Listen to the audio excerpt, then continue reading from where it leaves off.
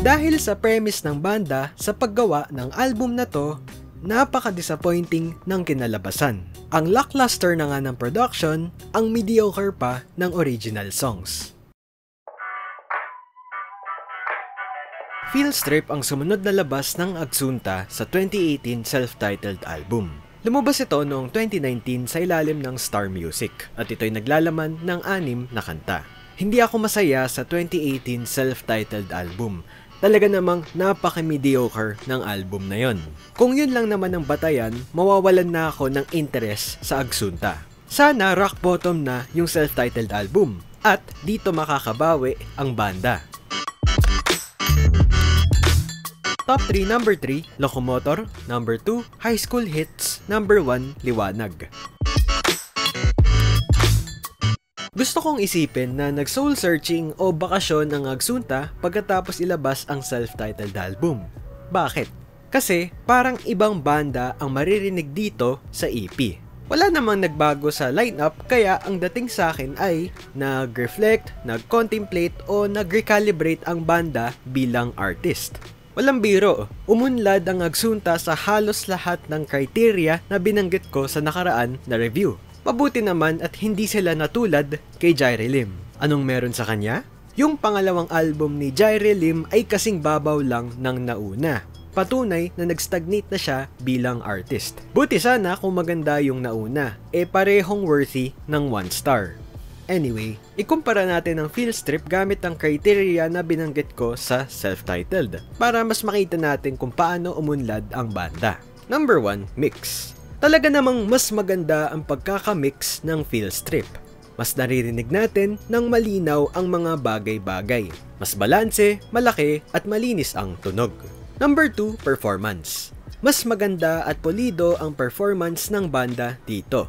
Although, ang masasabi ko lang regarding the singing performance ay may mga awkward na salita sa lyrics na hindi ko alam kung kasalanan ba ng composer o sadyang lumilitaw pa rin yung mindset ng maarteng bigkas ng Tagalog ala indie girl voice konyones. Alas 12. Malit lang naman na bagay to para sa musika ng Agsunta. Pero kung ang tatalakayin ko ay yung mga katulad ni na Moira at Riz, eh nako, di yan may iwasan. Number 3, arrangement. Magandang balita, mas may sense na yung pag-aareglo ng mga kanta dito. Mas restrained at strategic ang galawan. Hindi tulad ng dati na ang mema at bara-bara ng pag-aareglo. Pagdating naman sa songwriting, hatiin natin to sa dalawa, melody at chord progressions. Mas creative, inspired, at meaningful ang melodic writing. Mas nararamdaman natin ang emotion na pinaparating ng kanta. Malaking bagay yung emotion kasi isa to sa mga bagay na hindi ko maramdaman sa self-titled album.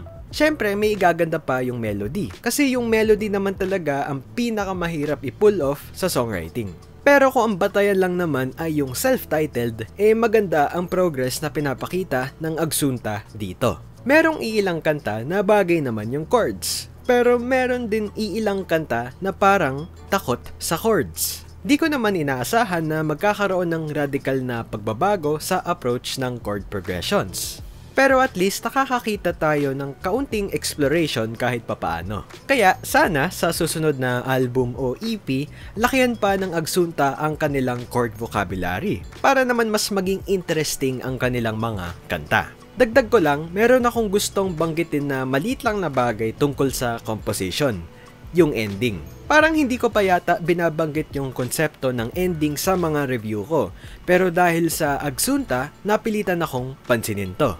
Ang gusto ko lang naman ipunto ay parang nahihirapan ang Agsunta sa kung paano tatapusin ang isang kanta. Ang may papayo ko lang ay wag na wag yung ibabaliwala ang ending ng isang kanta. Hindi porket maganda na yung verses, chorus at bridge ay hindi nyo na iisipin yung ending. Maliban na lang kung mag-fade out kayo. Hindi naman to kailangan maging komplikado. Basta siguro iwasan nyo gumawa ng ending na bitin, abrupt o walang confidence. Pag-usapan natin ang top 3 songs ng EP.